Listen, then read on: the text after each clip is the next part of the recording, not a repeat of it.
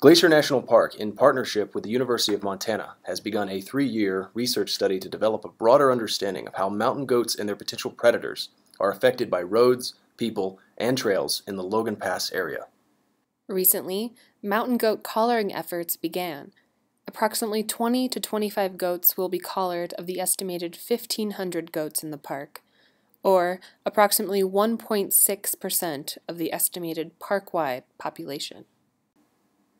GPS and VHF radio collars are being utilized to collect data from goats regarding their movement and use of the Logan Pass area throughout the year. While the goat is immobilized for collaring, researchers also collect hair, blood, and fecal samples.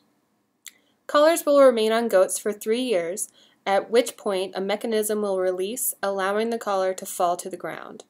The collar will then be retrieved by researchers, which means the goats will only have to be handled once.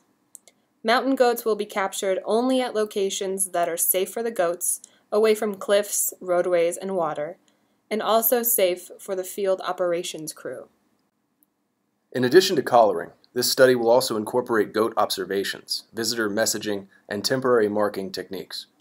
Research on bighorn sheep will be conducted simultaneously. No collars will be placed on bighorn sheep, as individual sheep are easier to identify due to horn variations. This study is an attempt to balance the park's need to develop long-term, science-based management strategies for the Logan Pass area and the Going to the Sun Road corridor, while providing a quality visitor experience that celebrates the wild aspect of the park's wildlife.